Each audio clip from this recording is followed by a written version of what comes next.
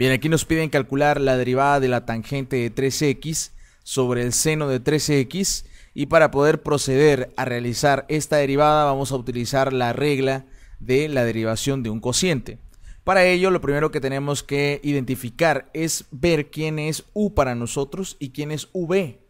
Entonces para nosotros el valor de u va a ser igual a la tangente de 3x y su derivada va a ser igual a la derivada del argumento, que en este caso sería 3, por la secante al cuadrado de 3x.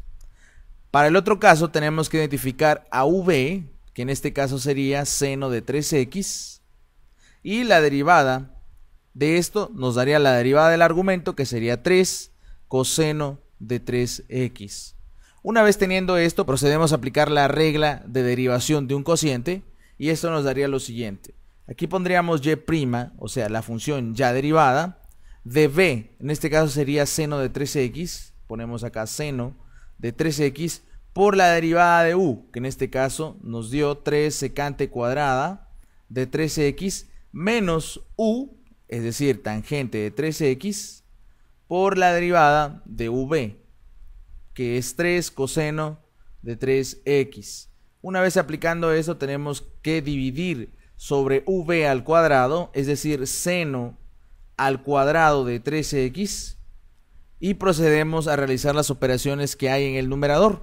En este caso solamente tendríamos que colocar al 3 seno de 13x secante cuadrada de 3x menos tangente de 3x por 3 coseno de 3x. Esto nos daría 3 tangente de 13x coseno de 13x y todo esto dividido por el seno cuadrado de 3x.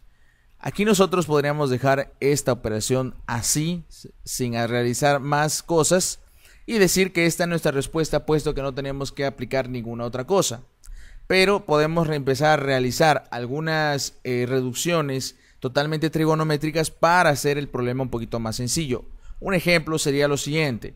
El seno de 3x al multiplicarlo por el secante al cuadrado de 13x, que es lo mismo si tuviéramos nosotros 1 sobre el coseno al cuadrado de 13x, esto nos daría seno de 13x sobre el coseno al cuadrado de 13x, que también lo podríamos expresar como el seno de 13x sobre coseno de 13x por 1 sobre coseno de 3x.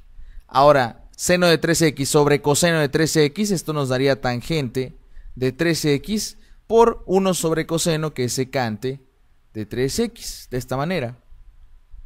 Y con esto nosotros podíamos también factorizar a la tangente de 3x, quedando entonces de la siguiente manera. Aquí en vez de poner 3 seno de 3x por secante al cuadrado de 3x, esto lo podemos expresar como 3 tangente de 3x por secante de 3x menos 3 tangente de 13x por coseno de 13x.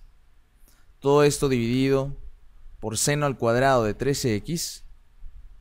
Y que ahora lo puedo expresar también como 3 tangente de 13x, es decir, el factor común secante de 13x menos coseno de 13x. De esta manera y todo esto dividido por el seno al cuadrado de 3x. Y podríamos decir que hasta ahí tenemos esto ya derivado.